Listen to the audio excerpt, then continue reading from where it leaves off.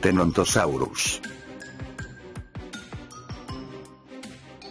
El Tenontosaurus era un dinosaurio que pisó nuestra Tierra hace 115 y 108 millones de años, en el Cretácico inferior, el aspecto físico del Tenontosaurus era como la de un ser cuadrúpedo, que tenía una altura de 1, 7 metros y 6, 5 metros de largo, su peso podía llegar a los 1, 3 toneladas, pero lo que más llamaba la atención era la longitud de su cola, que constituía más de la mitad de la longitud total del animal, el cual podía llevarla levantada sin ningún esfuerzo gracias a la forma de las vértebras. El Terontosaurus para defenderse de los depredadores podía erguirse sobre las patas traseras, apoyándose en la cola e intentando golpear al agresor con la gran garra que tenía en el pulgar, pero también podía defenderse usando su cola como látigo, el Terontosaurus tenía un pico córneo y dos grandes incisivos que eran muy útiles para cortar las plantas y luego triturarlas con sus muelas, aunque esto lo realizaba en cuatro patas, podía erguirse sobre sus patas traseras, apoyándose en la cola para comer las hojas de las copas de los árboles, al caminar, clavaba las garras en el terreno para sujetarse y no